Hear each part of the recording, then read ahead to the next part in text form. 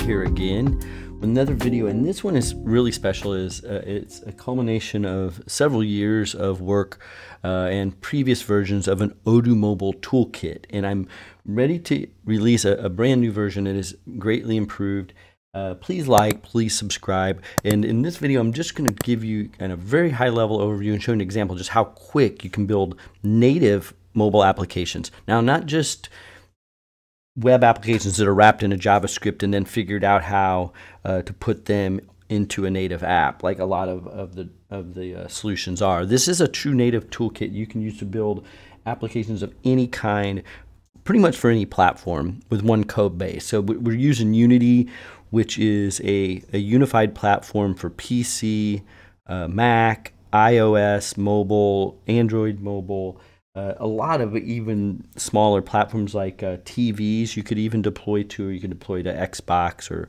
PS4 and all those things. We're going to just basically, like a lot of things, especially just to see it in action so you can see how fast it can be and like literally in less than 10 minutes be able to build a native Android app that talks to a backend database and with no code to boot. So to get started here, I have a brand new, completely new scene. And so this is in Unity. There's tons of tutorials on it, but even if you've never seen it before, this should be really easy to follow along with. So to begin hooking up to Odoo, I come up under, Tools, I choose Odoo Toolkit, and because there's no manager object yet, I hit Create Manager Object. At that point, we see a login failed here because as we see this notice says a server is required. Please specify the server you wish to connect to. So I'm going to just come in here and pick from one of these predefined servers. You can have as many as you need. I'm just going to pick my local host. And as soon as I pick it, it is authenticated and tests the login. So we know that this is a ready server state. I have a whole debugging tool built in here. So if, if for some reason it's not able to connect, you can track that down. Then as soon as it's connected like that, I want to show you that there's nothing special here. So I can edit the connection and I can just see it's running on a local host. The server is, and I have a logon and password. It, I have the password hidden by default, but you can see it here. Um, it's just admin admin because it's local. It's not even on the internet and the database. So that's all you have to specify, and you're hooked up to Odoo, uh, and you're talking to the back end. Now we want to pull a model a table uh, is what people might be familiar with if not familiar with Odoo's architecture. But we want to talk and pull data from a model in Odoo. So I come up here and I click plus. And these are some of the models that I've predefined. I'm going to just pick contacts. Now, as soon as I do that, we can see it's loaded and I can query the data here and it's pulled the data right over from Odoo, just like that, no code involved to do this. And uh, these fields, you can just ignore these. These are uh, part of the beta that I'm working through, so I'm testing out some different processes here, so these fields don't matter. But you can specify what fields show up here in the inspector uh, like this. So this is an editor that I've created. One of the reasons I'm using the Odoo toolkit inside of Unity right now is because it has a very, very rich editor environment. Like nothing really compares uh, to the editor environment inside of Unity. Um, uh, for having having the ability to create custom editors and things like that. So this this is a little custom editor. It's really pretty simple, but uh, it lets you see the data already. So we're all, we've got our data ready. Now let's build an app. Um, now we have a scene here, and to we need something to show. So I'm going to come in here under the UI and choose uh, panel. This puts a panel here, and I can uh, on this panel. Let me get this out of the way. I'll just close it actually. Um, let's give it a color. Let's make it kind of dark. And we want it 100% so it's not transparent at all. So just a really simple red-ish uh, background, darker red background for our uh, interface. I'm going to just come down here and say UI and choose text, text mesh pro. And this is a, a, a nice text object with all kinds of options, you know, bolding, and you can pick your fonts and everything, uh, the colors and that kind of thing. I'm just going to use it to say uh, Odoo contact list. I'll just say Odoo contact. And so this is just a static label. And I just wanted to, to, to, put that there and show that this is just standard Unity tools at this point in terms of the interface. Um, what I will do now is actually hook up to the data. So if I come here into my Odoo toolkit, I have a list of controls. I have one here called text. I can drive it up onto this panel here and I can move it wherever I want. Now it's empty right now because I have this tool, uh, this control set up to default to whatever models are here and, and name is like a common field. Every table or model inside Odoo has a name, so I default it to that so that you have a field. But you can pick any field that we've pulled over from Odoo in that model. Now I'm testing out some beta, so I didn't pull out you know all of the contact fields. I'm just pulling over the fields i need. So that's one of the things about this is it lets you map your models from odoo and quickly uh, only pull over the data you need. And what we'll see here is because this is here and, I, and this data is already hooked up i can come down here and click first and it's actually going to pull that data and send an event to update the label. So I can go first back next and actually see this data in our interface update without even running the app. The app's not even running. this is just the editor. So we can hook up to all of our data. We can see it in the editor. We can lay out our forms in the editor uh, without even running the app. And so let's drag some more stuff on here. So I can drag this image on here, for example, and we'll just put it here.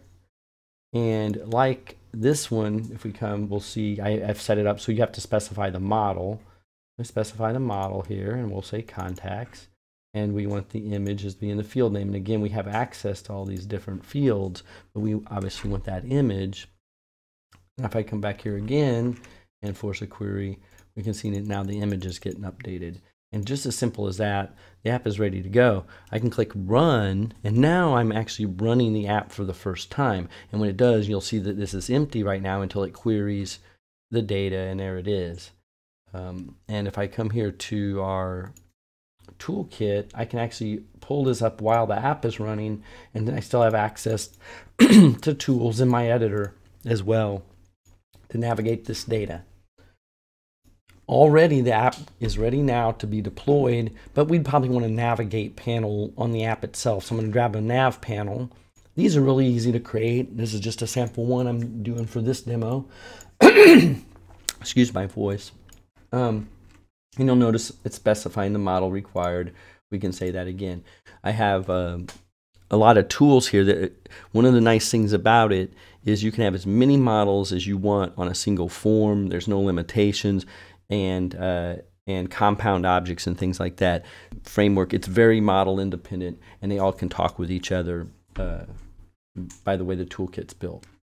So now that we have this here, if we run the app, we can have, in a sense, a basically a standalone app here um, that you know it's really simple. It shows how it works, uh, but we have other tools, you know, toggles and we have uh, you know state panels and we have input fields and and a select uh, panel as well to like select items. So so you know in, uh, this is still in beta. There's going to be a lot more tools that we'll add, but it's already very functional and lets you hook up like this. So now it is actually ready to build into an Android app. I can just come up here, you know, look at the build setting. It's already set to be built to an Android app. I want to add this open scene, so we have to save our scene here. Um, so I'll come into the toolkit. I'll just come into our examples and I'll come here and I'll say for uh, recorded demo two.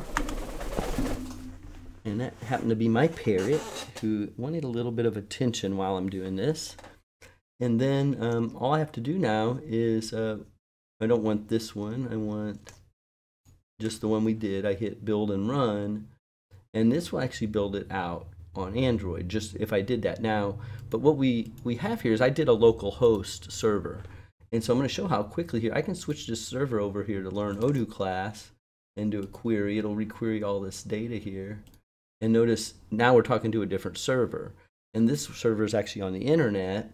So uh, when I build out my app on my phone it'll actually be able to connect to the real data. If if I was to build it with a local host, it'd be kind of complicated to get my my my phone, which is an independent device running, you know, on a on a 4G network, to actually go to my local host here um, on my server.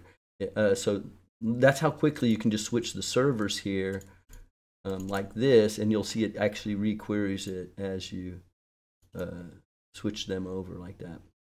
So with that, that's part of it. But also, this isn't really set up to look and display well on a mobile device. Um, it's going to, as it resizes, it's going to look bad. Um, so what we want to do is just come here to some of these things, and instead of having it go center, we're going to pin it to the left. Um, and we'll just do that with, some, with these objects like this one as well pin it to the upper left corner. So you get all these tools for aligning these things so that they'll display well on any device. And there's a lot to this, but we don't have to do a whole lot. We can keep it simple. We're just going to align them to the left top so that when we reorchestrate this, and I can come in here to game, change it from free an, uh, aspect to say like a portrait. Notice how it re uh, everything stayed where it needed to be. And so that's how it's going to look when we build this out, um, like that. And this one I forgot to put that left uh, in, and that's why it ended up over there. So that's important. And that's it. We can come here and say build and run, hit save. And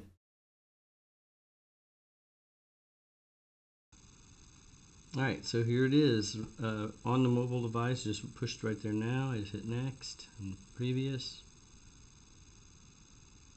It's working just like you'd expect uh, right on the phone. Really quick to build native apps. It, the data hooks up to Odoo simply.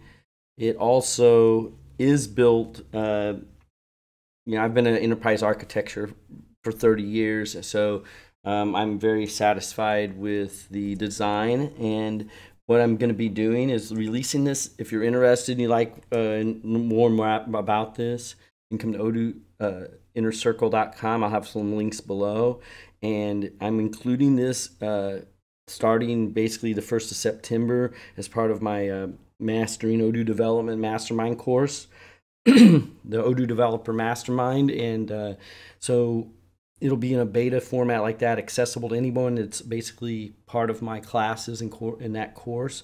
I'll be releasing new, other demos. I'll be showcasing uh, its uh, stages as it gets improved. Please, uh, you know, like down below, you know, subscribe. Thanks for watching. I hope uh, you can see the power that uh, comes from being able to build out these uh, toolkits like this.